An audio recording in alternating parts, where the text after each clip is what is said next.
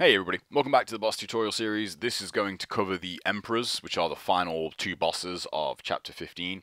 I'm going to do these both at the same time as they kind of follow on from each other, and there's no real checkpoint or anything in between them, so you can kind of look at them as one boss really with two forms. Um, one thing important to note, you can go back to Muramasa before you do this. Um, I highly recommend doing that if you need to. Uh, chapter 15 is full of ghost fish, so uh, you, you can easily farm some essence if you need to. Um, so just keep that in mind. The main thing you want for the second form is a complete stock of projectiles. I've said that many times, but every arrow, incendiaries, uh, that's a must. You, you definitely want to make sure you've got that. So for the first form, uh, I recommend having level 3 Inferno, as it does the most damage to her. Um, I say her, I don't know if it's actually meant to be female, but who knows.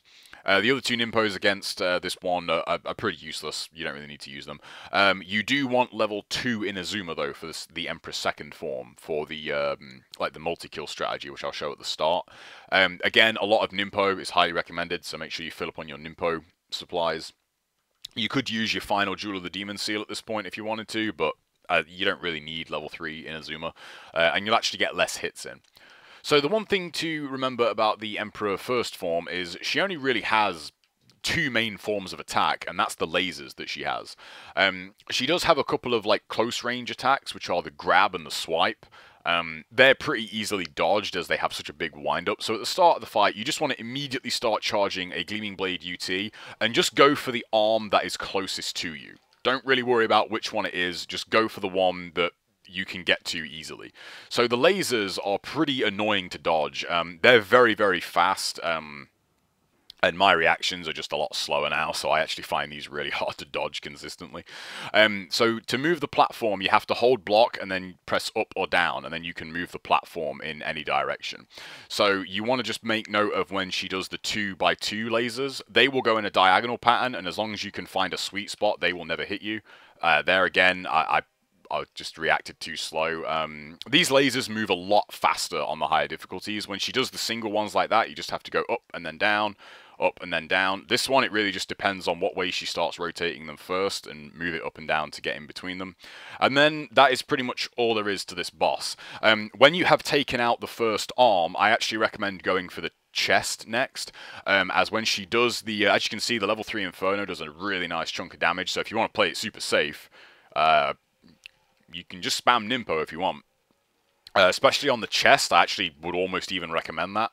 As you can see, uh, she does a hell of a lot of damage. The main thing to note, when you destroy the second um, piece of her body, you can actually freely move the rock. You can't do that on the first one, so dealing a lot of damage to all of them at the same time is recommended, uh, but it's not always that easy. So the Emperor Second Form, this strategy was first shown by Big Alski uh, years ago, and it kind of originated uh, as a Karma Run strategy, um, funnily enough, but it's actually one of the best ways to fight this boss, and it's you want level 3, level 2 Inazuma, sorry. Level 1 works just as well, but if you can have level 2, you might as well have level 2. And what you want to do is you want to have your arrows equipped, uh, preferably um, explosive, sorry, not tank shells. Um, you might as well put Armlet of the Sun on for this, but it doesn't really make it do. Armlet of the Sun does actually affect Ninpo damage, by the way. I think I mentioned that in the Ninpo tutorial, but um, it does affect Ninpo damage. Um, I'm going to keep it off here just for consistency's sake. Um, and you want to run right at him, jump, and then just do on-landing Ninpo, like this, and just keep doing your Ninpo over and over again. This is by far the easiest way to take down this boss. When you get to one Ninpo left, though, you want to go into your item screen and actually fill up on some Ninpo. Otherwise, the um, the the giant skull that comes down can grab you. Um, and if he grabs you, you'll know about it. That is the highest damaging attack in the entire game. So we might even be able to get another one here. No, he jumped away. Okay, so when he jumps away, it's kind of anybody's guess where he's going to go. Uh, you just want to fill up on uh, your Ninpo here, so we'll use our Great Devil Elixir. I think you just want to start shooting him. Just start shooting him. Pretty straightforward. Ev evading his skulls is really tricky, so you want to just light up fire wheels when he throws his skulls at you. And I'll showcase that real quick here. So to fight him this way, uh, always have fire wheels good to go whenever he starts um, throwing the skulls at you. You can carry on shooting him when he does this. However, I wouldn't really recommend it as it's quite hard to do.